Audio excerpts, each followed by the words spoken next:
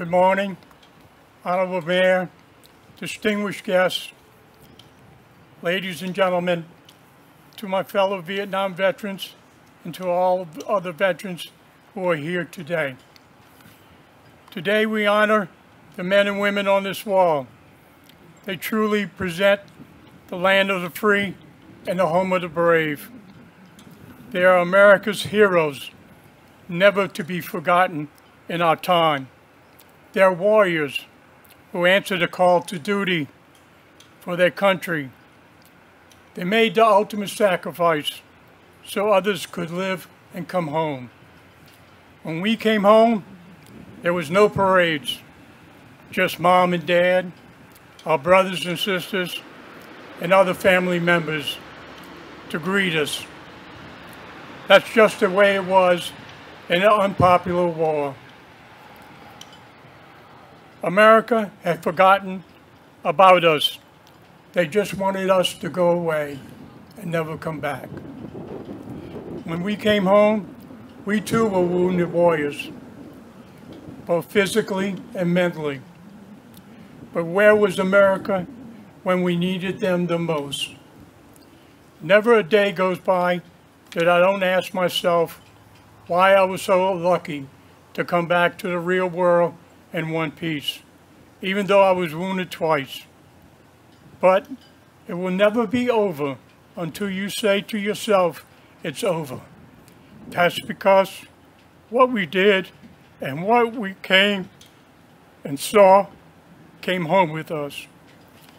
We will never forget the brave men and women whose name we see on the wall because they will always be in our hearts and souls.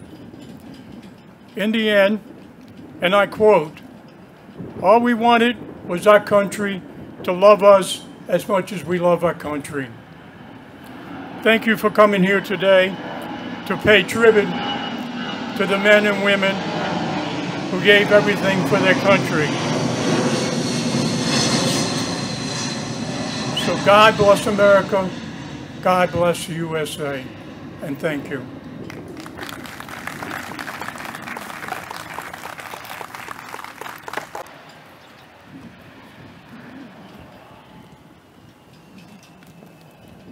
Also here today, our next speaker comes from the state of Louisiana. We have also two representatives from Governor Jeff Landry's office here today, Doug Sheremy and the next speaker, speaker Mr. Bobbie Ragsdale.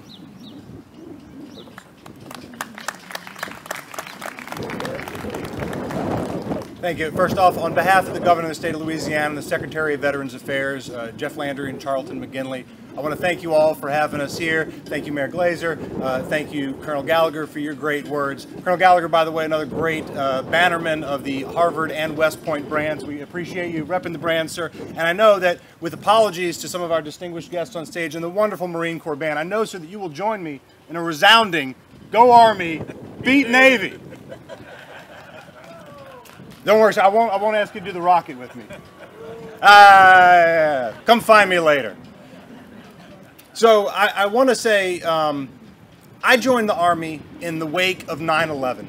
And as a veteran of the most recent American wars, I have never personally felt anything but the great respect, love, and appreciation of the American people. But I know that that is not true for all of our veterans of all generations and especially those Vietnam veterans who did not come home to the reception that they deserved for the service and sacrifice that they gave. But we recognize that as a country now. And especially in the state of Louisiana, we recognize the service and the sacrifice that they performed. And, and sir, we have not forgotten. And we will never forget the service that our country gave, that our servicemen gave during Vietnam. Please join me again in applauding the Vietnam veterans. Please rise. Rise with me and recognize and thank those Vietnam veterans who gave so much to this country for so little. Thank you. If I could say just a word about what we do here in Louisiana for veterans and how we remember and recognize not just your service, but the service of all veterans. We want Louisiana to be a home for veterans. Veterans from Louisiana, veterans from other states, it doesn't matter Louisiana is your home because we honor and respect your sacrifice. The state legislature, the government are working actively to increase your benefits, to give you whatever we can to keep you here and to honor you while we're here. We just signed, uh, two days ago, the governor signed a new legislation expanding educational benefits for the children of our disabled veterans. We often think about education benefits when we think about service, but often overlooked is the benefits for education to the children of veterans.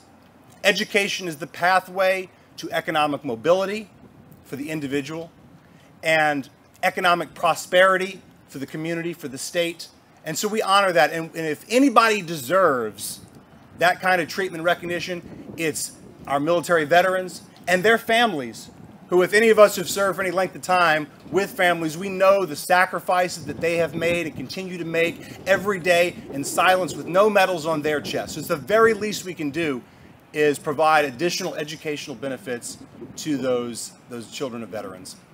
If you're a veteran and you don't know what your benefits are or you're having trouble accessing them, there are veterans assistance counselors in every parish in this state that you can go see. Most of them are in the parish offices. They will, for free, help you file your claims, your initial claims, your appeals to the VA. They will help you understand things like parking benefits at the airport, to license plates, hunting and fishing permits, anything you need, you can go to those VACs and they will help you provide it. And if you don't get what you need, then you come find me and I will find out why you're not getting it and how to get it to you. Louisiana is a home for veterans. Thank you. Yes, please. Louisiana is a home for veterans. We want it to be a comfortable, safe place that honors you and your service. We thank you for your service. God bless America. God bless the great state of Louisiana. And most importantly, God bless the service, sacrifice, and valor and heroism of our veterans. Thank you.